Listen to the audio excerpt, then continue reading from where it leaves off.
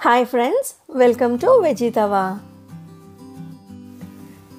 గోదావరి జిల్లాలో సాయంత్రం పూట దొరికే స్ట్రీట్ ఫుడ్లో టొమాటో బజ్జీ చాలా ఫేమస్ అండి. టొమాటో బజ్జీ చాలా టేస్టీగా కూడా ఉంటుంది. అది ఈరోజు మనం ఇంట్లో ఎలా చేసుకోవాలో చూసేద్దాం. దీనికోసం మనం ఇలా ఎర్రగా కొంచెం గట్టిగా ఉన్న టొమాటోని తీసుకోవాలండి.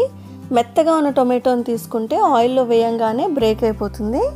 ఒక కప్ శనగపిండిని ఇలా మిక్సింగ్ బౌల్లోకి తీసుకుని అందులో తగినంత ఉప్పు కొద్దిగా పసుపు అలానే చిటికెడు వంట సోడాని వేసి కొద్ది కొద్దిగా నీళ్ళు యాడ్ చేసుకుంటూ మనం బ్యాటర్ని కలుపుకోవాలి.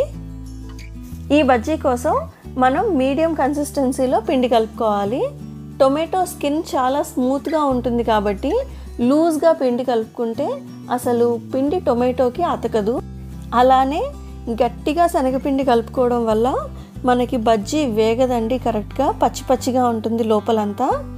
అందుకని మీరు కరెక్ట్ కన్సిస్టెన్సీ తెలుసుకోవాలి అంటే ఇలా టొమాటోని ముంచి తీయంగానే ఒక చిన్న లేయర్ సన్న లేయర్ ఫామ్ అయింది కదా ఇలా ఫామ్ అయితే మనకి కన్సిస్టెన్సీ కరెక్ట్గా వచ్చినట్టే. నెక్స్ట్ ఒక కడాయిలో డీప్ ఫ్రైకి సరిపడా ఆయిల్ తీసుకుని ఆయిల్ బాగా హీట్ ఎక్కిన తర్వాత స్టవ్ని మీడియం ఫ్లేమ్లో పెట్టుకున్నాక మాత్రమే బజ్జీ వేసుకోవాలి. మొత్తం టొమాటోని కంప్లీట్గా శనగపిండిలో డిప్ చేసుకున్న తర్వాత దాన్ని జాగ్రత్తగా ఆయిల్లో వేసుకోవాలి. మీకు ఆయిల్లో వేసేటప్పుడు కొద్దిగా స్కిన్ ఎక్కడైనా కనబడితే దానిపైన ఎక్స్ట్రా పిండిని యాడ్ చేసుకోవచ్చు పర్వాలేదు.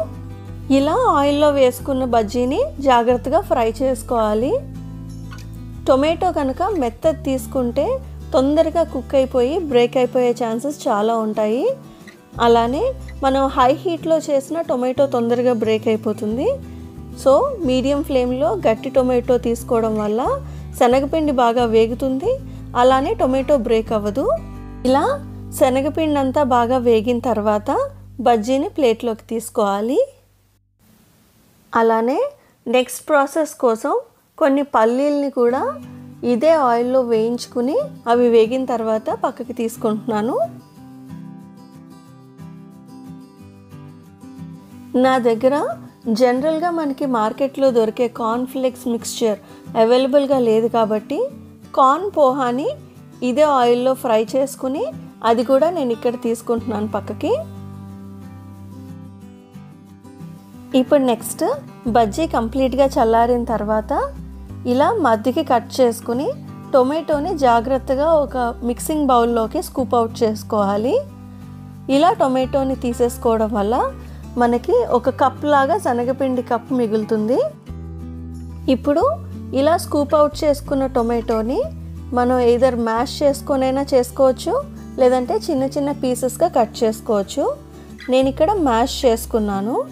ఇప్పుడు ఇలా మ్యాష్ చేసుకున్న టొమాటోలో ఒక గుప్పెడు మరురాల్ని ఇలా చేతితో క్రష్ చేసుకుని వేసుకోవాలి. అలానే సన్నగా తరిగి పెట్టుకున్న ఉల్లిపాయ ముక్కలు కొద్దిగా కొత్తిమీర వేసుకోవాలి. ఇంకా కార్న్ఫ్లేక్స్ మిక్స్చర్ కూడా ఇలా చేత్తో క్రష్ చేసి వేసుకోవాలి. అలానే మనకి సన్నకారు పూస దొరుకుతుంది కదండి అది కూడా కొద్దిగా యాడ్ చేసుకోవాలి. నేను ఇక్కడ హల్దీరామ్స్ ప్లెయిన్ భుజియా వాడుతున్నానండి సన్నకార పూసకి. అలానే మనకి ఇక్కడ మిక్స్చర్ దొరుకుతుంది కదండి అన్నీ కలిపిన మిక్స్చర్. అది ఆప్షనల్ ఉంటే వేసుకోవచ్చు లేకపోతే లేదు. మనం ఇందాక ఫ్రై చేసి ఉంచుకున్న పల్లీలను యాడ్ చేసుకోవాలి. అలానే కొద్దిగా కారం మీకు ఇష్టమైతే పచ్చిమిర్చి కూడా యాడ్ చేసుకోవచ్చు.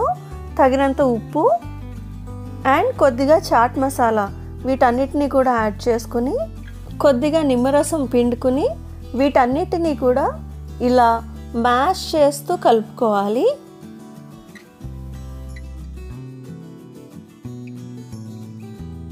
ఇలా రెడీ చేసుకున్న మిక్స్చర్ని మనం కప్స్ ఇందాక ప్రిపేర్ చేసుకున్నాం కదండి ఆ కప్స్లోకి స్టఫ్ చేసుకోవాలి.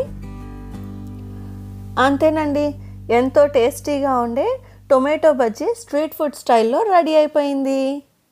మా ఈ రెసిపీని మీరు కూడా ట్రై చేసి మీకు ఎలా వచ్చిందో మాకు కింద కమెంట్స్ బాక్స్లో తెలియజేయండి. అలానే మా వీడియో కనుక మీకు నచ్చినట్లయితే వీడియోని లైక్ చేయండి ఫ్రెండ్స్ అండ్ ఫ్యామిలీతో షేర్ చేసుకోండి అండ్ మా ఛానల్కి సబ్స్క్రైబ్ చేసుకోవడం మాత్రం మర్చిపోవద్దు. Thanks for watching